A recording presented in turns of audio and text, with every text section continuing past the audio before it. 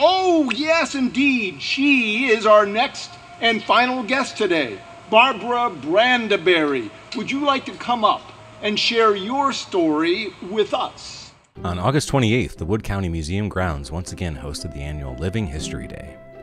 The 2022 honorees were chosen to coincide with the museum's current wedding themed exhibit, Allure and Illusion, a rose colored romance. The event was free and open to the public and featured a range of historical performers speaking about aspects of marriage in their lives. Earl Bailey was portrayed by Bob Midden, who hosted the event and played the role of the Wood County judge and World War I veteran. Thomas Edge portrayed Barney Bistline, who was a scholar, teacher, and judge who issued over 32,000 marriage licenses. Toledo native Barbara Brandeberry was portrayed by Mary Dennis, as well as Marguarite Eckel, who was crowned Mrs. Wood County and was portrayed by Alexis Jade Reinbolt Tucker. Isaac Moore Taylor, who created the famous paintings in the Wood County Courthouse, was portrayed by Keith Guion, and Annelise Clifton rounded out the evening as Iza Taylor McKnight, who married her high school sweetheart Douglass McKnight.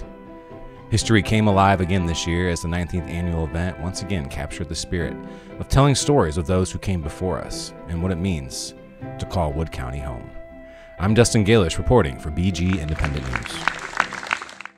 BG Independent News is made possible with support from people like you. Help keep news in Bowling Green free and accessible to everyone by becoming a contributor today. Visit bgindependentmedia.org/support to help Bowling Green's best source for local news, arts coverage, reviews, opinions, campus information, and community updates.